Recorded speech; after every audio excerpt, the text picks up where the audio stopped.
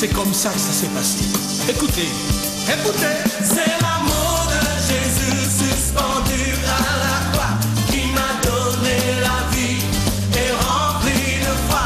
Y'a plus rien chez l'homme méchant pour briser ma joie.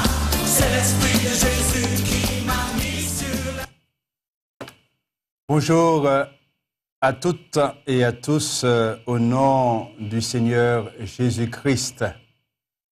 Que le Seigneur, dans sa grande miséricorde, nous donne encore de connaître les choses qui sont pour nous et qui sont pour notre salut et qui sont pour sa gloire. Que Dieu donc soit béni et qu'il soit glorifié.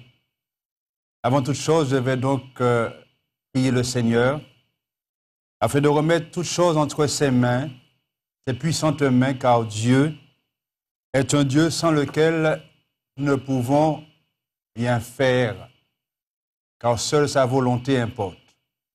Père, nous te rendons grâce et gloire. Je te bénis en cet instant, Père, pour ton amour, ta bonté, ta fidélité. Merci pour euh, ce moment que tu me donnes de partager avec les auditeurs, les téléspectateurs. Mon Dieu, mon Père, pour que ta parole puisse encore porter dans les cœurs cette euh, interpellation. Mon Dieu, mon Père, merci pour ta parole, car seule ta parole est vérité. Je te rends grâce et gloire pour l'assistance de ton Saint-Esprit. Sois loué, sois béni et sois glorifié en toutes choses, Père, et pour toutes choses, au nom de Jésus-Christ, ton Fils. Amen. Dieu donc soit béni et que Dieu soit glorifié. Je ferai lecture dans l'épître de Paul aux Romains, le chapitre 3. Je lirai à partir du verset 9 jusqu'au verset 20. L'épître de Paul aux Romains, chapitre 3, du verset 9 jusqu'au verset 20. L'apôtre Paul disait ceci, Quoi donc? Sommes-nous plus excellents? Nullement, car nous avons déjà prouvé que tous, juifs et grecs, sont sous l'empire du péché. Selon qu'il est écrit, il n'y a point de juste, pas même un seul. Nul n'est intelligent, nul ne cherche Dieu, tous sont égarés, tous sont pervertis. Il n'en est aucun qui fasse le bien, pas même un seul. Leur gosier est un sépulcre ouvert. Ils se servent de leur langue pour tromper. Ils ont sous leurs lèvres un venin d'aspic. Leur bouche est pleine de malédiction et d'amertume. Ils ont les pieds légers pour répandre le sang. La destruction et le malheur sont sur leur route. Ils ne connaissent pas le chemin de la paix. La crainte de Dieu n'est pas devant leurs yeux. Or, nous savons que tout ce que dit la loi, elle le dit à ceux qui sont sous la loi, afin que toute bouche soit fermée et que tout le monde soit reconnu coupable devant Dieu, car personne ne sera justifié devant lui par les œuvres de la loi, puisque c'est par la loi que vient la connaissance du péché. Dieu soit béni pour sa parole. Dans cet épître aux Romains, l'apôtre Paul met en évidence l'évangile de Dieu, la bonne nouvelle, cette bonne nouvelle qui est apportée à l'homme pécheur. Un évangile qui révèle la justice de Dieu, car le Dieu saint, le Dieu pur, ne pouvait en aucune manière laisser le péché impuni.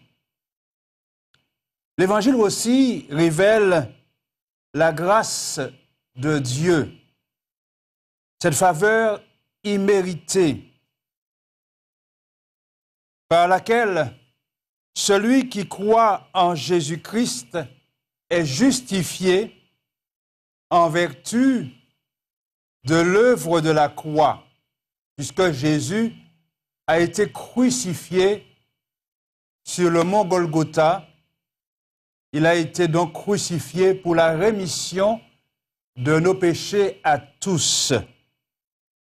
D'ailleurs, le fondement de l'Évangile, c'est Christ crucifié, mais c'est aussi Christ ressuscité. Car s'il n'était pas ressuscité, cela n'aurait servi à rien qu'il soit crucifié. Dans ce passage que je viens de lire, l'apôtre Paul montre que tous les hommes sont coupables. Coupables devant Dieu parce que tous ont violé de manière, je dirais, délibérée les commandements du Seigneur. Au verset 9, il dit, Quoi donc Sommes-nous plus excellents Nullement, car nous avons déjà prouvé que tous, il dit bien tous, juifs et grecs, sont sous l'empire du péché. Et dit encore au verset 19, Or, nous savons que tout ce que dit la loi, elle le dit à ceux qui sont sous la loi, afin que toute bouche soit fermée et que tout le monde soit reconnu coupable devant Dieu. Alléluia. Mais qu'est-ce que c'est que la culpabilité? Puisque tout le monde, tous les hommes, tout le genre humain, eh bien tout le monde est reconnu coupable devant Dieu. Mais qu'est-ce que c'est que la culpabilité? C'est tout simplement la, la, la condition pardon, légale et morale qui résulte d'une offense commise. Par conséquent, la responsabilité incombe à celui qui a mal agi. Et combien nous avons mal agi à l'égard de ce que Dieu nous demande. Combien de fois avons-nous mal agi? Mais on ne peut pas parler de culpabilité sans parler de conscience. Alors, il va falloir aussi définir aussi la conscience. Qu'est-ce que c'est que la conscience? Mais la conscience est un témoin intérieur qui rend témoignage au caractère juste ou injuste de nos actions. Voilà ce que c'est que la conscience. Et sur la base de ce témoignage, la conscience, elle prononce un jugement de valeur sur nous. Et ce jugement, justement, va produire, dans le cas bien entendu d'une faute commise, un sentiment, un sentiment de, douleur, de mal-être. Et c'est là justement que l'on ressent cette culpabilité. Pour le chrétien authentique, la culpabilité est une très bonne chose dans la mesure où cette culpabilité lui montre qu'il y a quelque chose qui ne va pas dans sa relation avec son Dieu. Et c'est là ce qui importe. L'apôtre Paul, toujours dans ce même passage que j'ai lu, l'apôtre Paul montre que l'on soit juif, ou que l'on soit non-juif. Parce que le juif est celui qui a reçu la loi de Moïse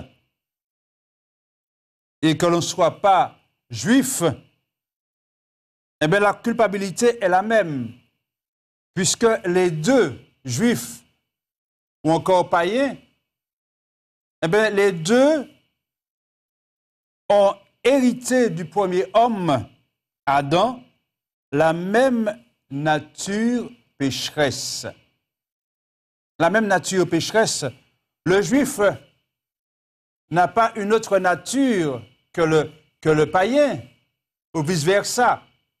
Mais tous les deux sont issus de ce même premier homme, Adam.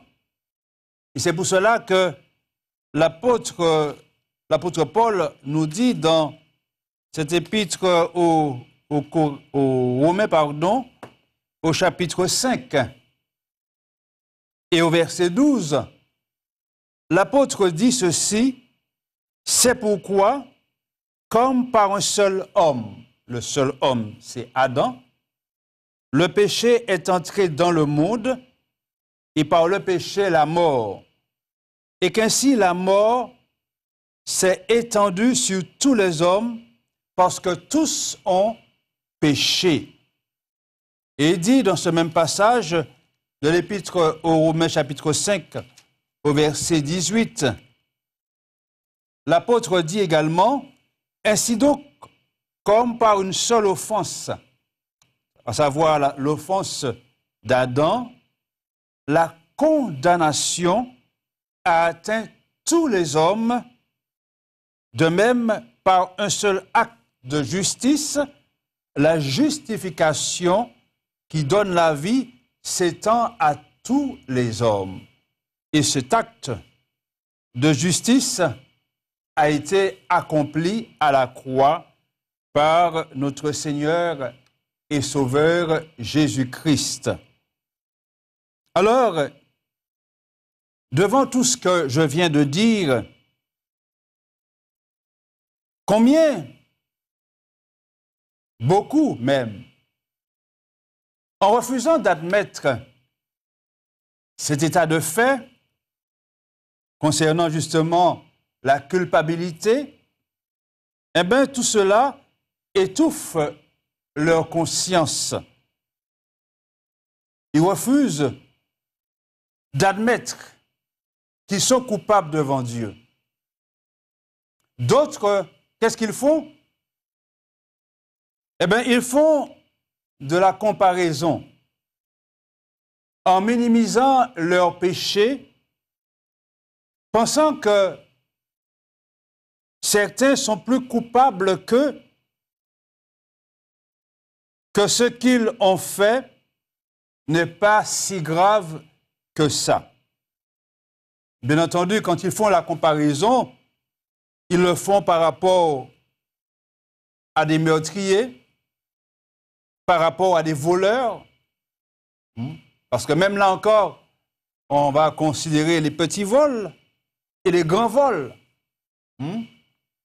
Quelqu'un qui vole 10 euros, pour eux, ce n'est pas la même chose que quelqu'un qui dévalise une banque. Par rapport aussi aux violeurs, par rapport aux trafiquants de drogue, donc, on se compare. On cherche à se comparer pour pouvoir euh, se justifier soi-même et ne pas considérer que nous sommes coupables devant Dieu. Il y a eu une parabole du Seigneur Jésus qui montre que beaucoup cherchent à se, justifier dans l'évangile. Alors, le temps pour moi de trouver la bonne référence, c'est l'évangile de, Matthieu. Ou plutôt, alors, certainement, le temps de trouver. C'est un passage qui vient, de me monter au cœur. Alors,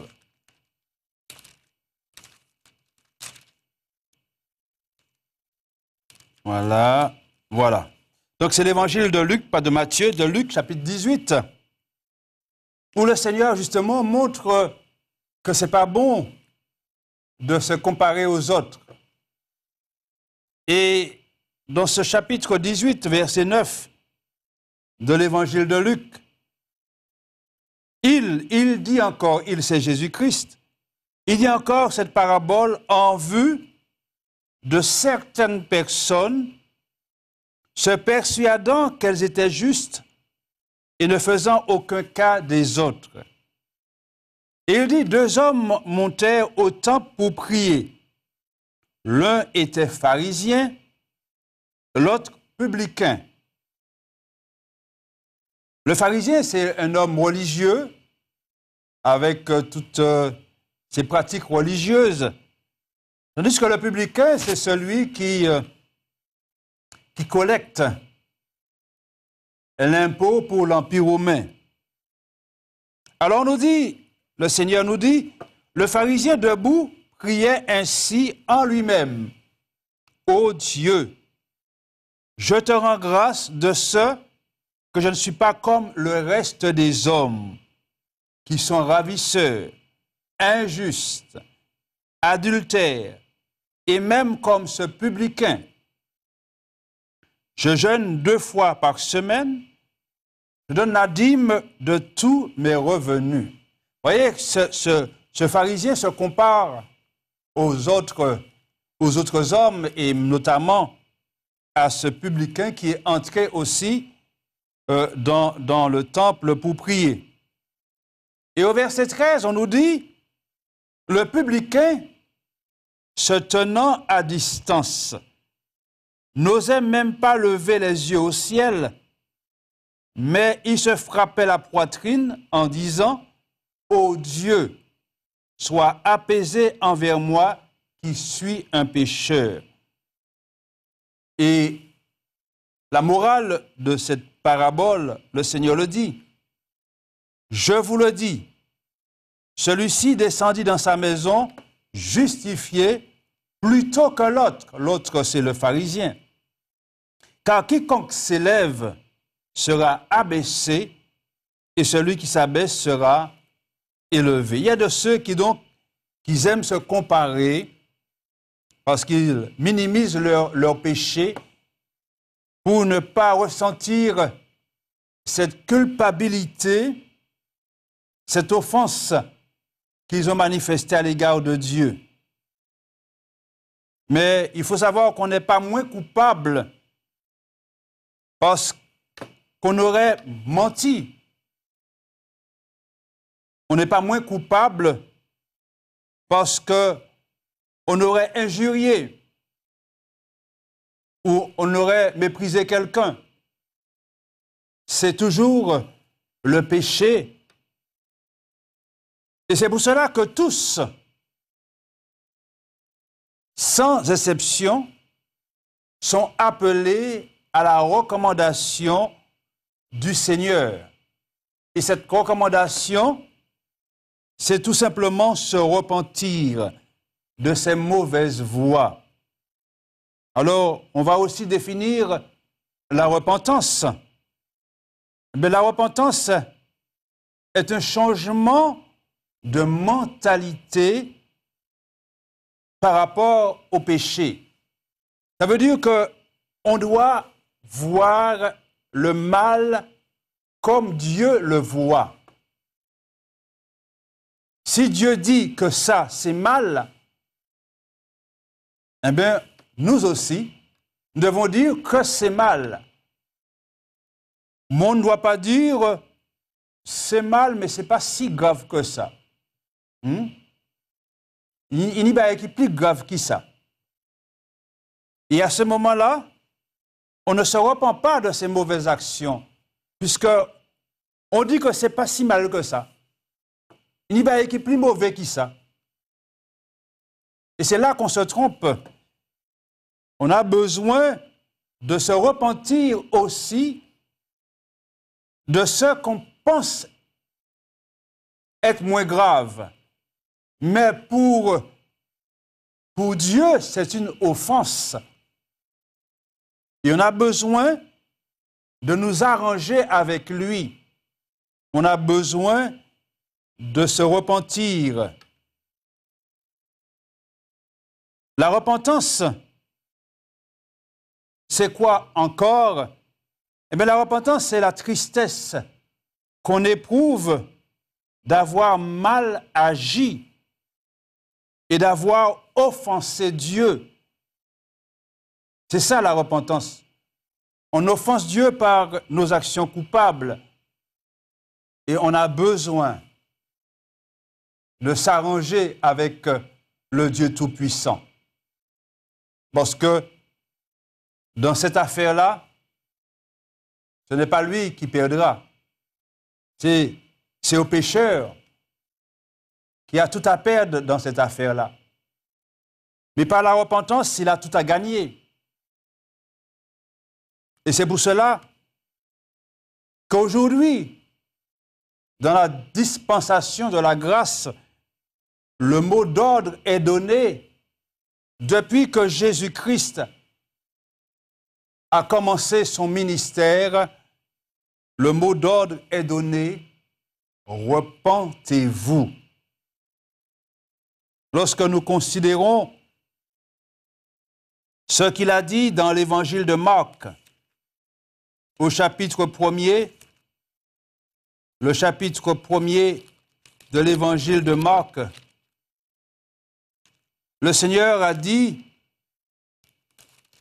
dans ce chapitre 1er, on nous dit au verset 14, après que Jean eut été livré,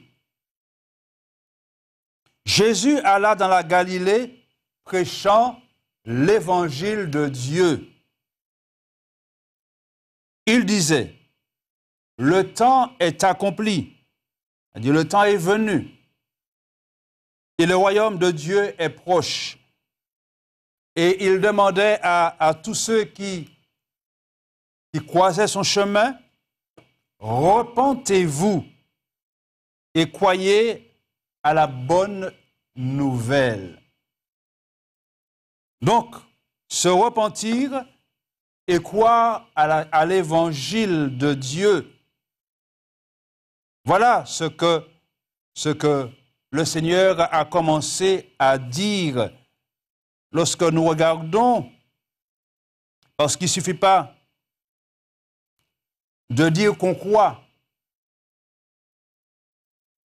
et puis ne pas agir, parce qu'il y a de ceux qui mettent la charrue avant les bœufs, et c'est là le problème de l'homme. Beaucoup disent, je crois en Dieu, mais refusent de se repentir. Et puisqu'ils ne se repentent pas de leurs mauvaises œuvres, eh bien, ils ne peuvent pas non plus produire les fruits de la repentance. Parce que la repentance doit produire un fruit, ou encore des fruits. C'est pour cela que dans l'évangile de Matthieu, au chapitre 3, il nous a dit ceci à partir du verset 5 de l'évangile de Matthieu, chapitre 3.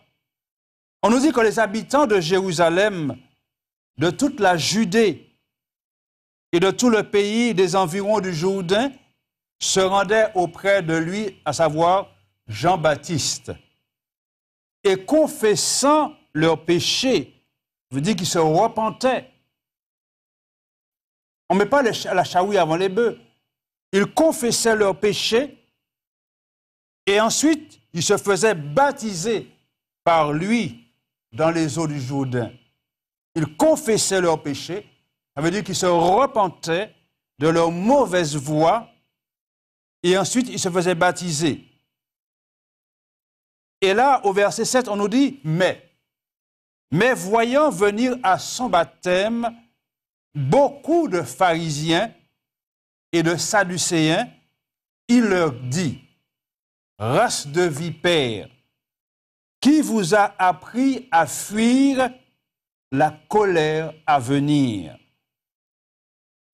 Et il leur dit, produisez donc du fruit digne de la repentance.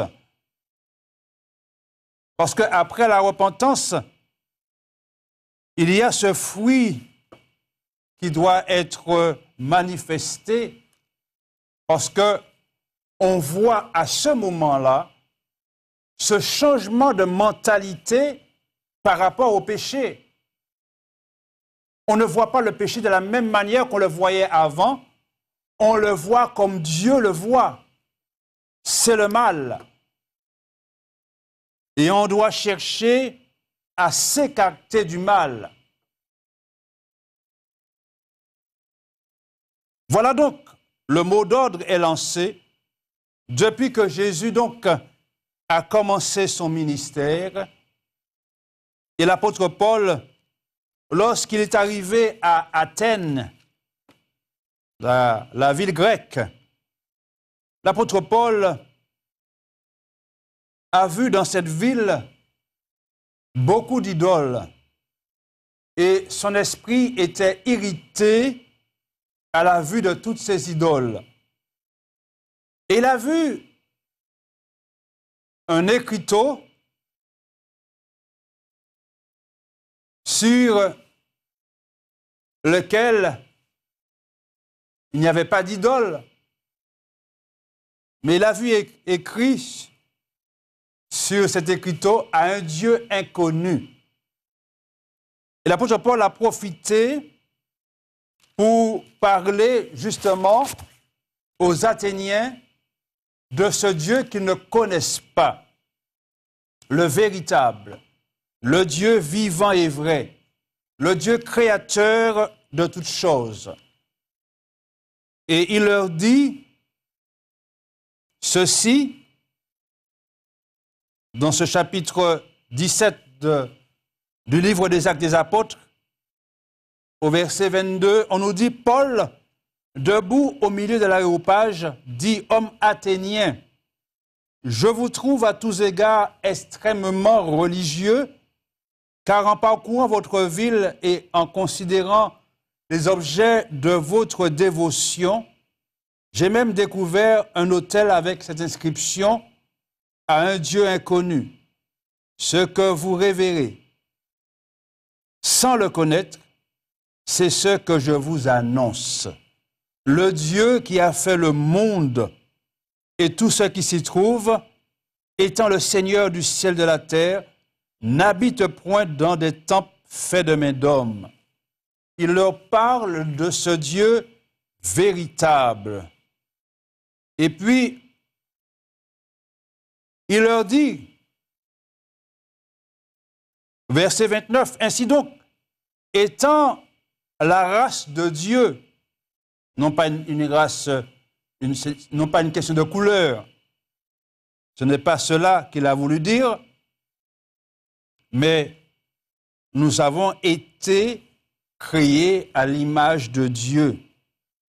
Il dit, nous ne devons pas croire que la divinité soit semblable à de l'or, à de l'argent ou à de la pierre sculptée par l'art et l'industrie de l'homme. Bien entendu, il faisait allusion aux idoles qu'il avait vues. Et il leur dit ceci, Dieu sans tenir compte des temps d'ignorance, annonce maintenant à tous les hommes, en tout lieu, qu'ils ont à se repentir. Voilà donc ce message qui n'a pas changé.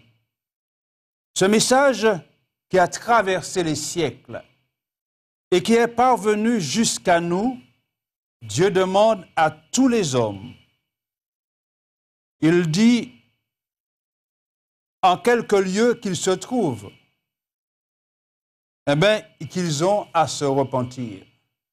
Qu'ils soient en Martinique, qu'ils soient en Guadeloupe, qu'ils soient en Guyane française, qu'ils soient dans la Caraïbe, qu'ils soient en Amérique, au Canada, en Argentine, au Brésil, qu'ils soient en Afrique, qu'ils soient en Chine, quel que soit le pays, il demande à tous les hommes de se repentir parce que tous ont été trouvés coupables devant lui par leurs actions mauvaises. Voilà l'évangile, le véritable évangile.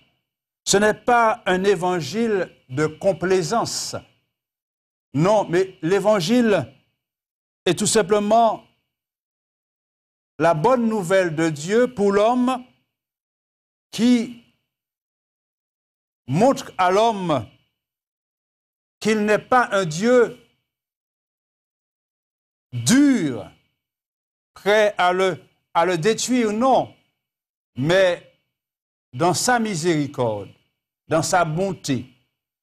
Il demande à l'homme simplement de reconnaître qu'il a déjà fait la part du travail et la grande part du travail parce que Jésus a payé le prix pour lui sur la croix. Et qu'il demande en retour à l'homme eh bien, de considérer cette œuvre puissante qu'il a opérée par Jésus-Christ sous la croix et demande à l'homme d'adhérer à ce sacrifice. Parce que c'est à cause de lui que Jésus est mort. C'est pour qu'il puisse recevoir le pardon de ses péchés que Jésus est mort. Voilà l'évangile. Tout simplement.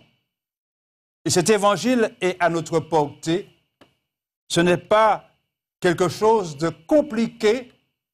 Je ne demande pas à l'homme de marcher à genoux sur un kilomètre pour expier ses péchés, ou de marcher pendant toute une journée sous le soleil pour expier ses péchés. Non, il demande à l'homme de regarder à Jésus-Christ, de regarder à la croix.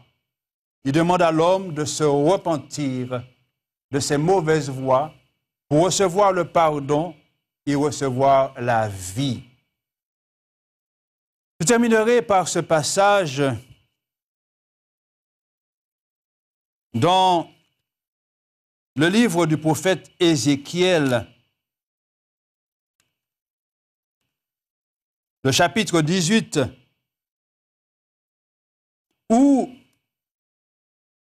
ces paroles s'adressaient à Israël, mais ces paroles s'adressent aussi encore aujourd'hui à nous.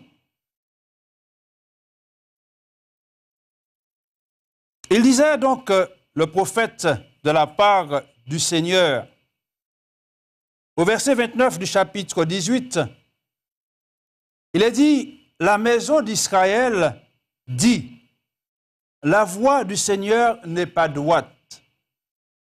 Est-ce ma voix qui n'est pas droite, maison d'Israël? Ne sont-ce pas plutôt vos voix qui ne sont pas droites? C'est pourquoi je vous jugerai selon chacun selon ses voies, maison d'Israël, dit le Seigneur, l'Éternel. Et dit, revenez et détournez-vous de toutes vos transgressions, afin que l'iniquité ne cause pas votre ruine. Rejetez loin de vous toutes les transgressions par lesquelles vous avez péché. Faites-vous un cœur nouveau et un esprit nouveau. Pourquoi mourriez-vous, maison d'Israël? Il dit, car je ne désire pas la mort de celui qui meurt, dit le Seigneur, l'Éternel. Convertissez-vous donc et vivez. Voyez, le Seigneur, dans sa bonté, le dit, qui désire pas la mort du pécheur, mais il désire qu'il vive en faisant tout simplement ce qu'il lui demande. C'est pour cela qu'il est bon. Et c'est pour cela qu'il est appelé le bon Dieu. Mais il n'est pas seulement appelé le bon Dieu, il est aussi appelé le Dieu juste, car il ne laissera pas le péché impuni. Que son nom donc soit béni et que son nom soit glorifié au nom du Seigneur Jésus-Christ. Amen.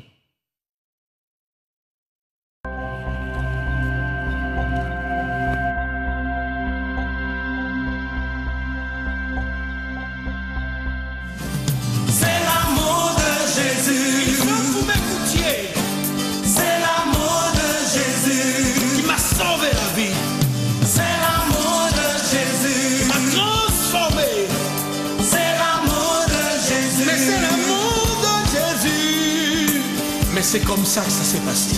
Écoutez, écoutez. C'est l'amour